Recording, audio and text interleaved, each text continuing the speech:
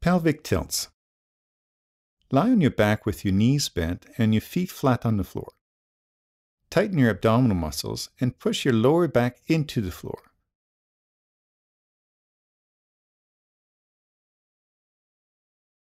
Repeat 10 times.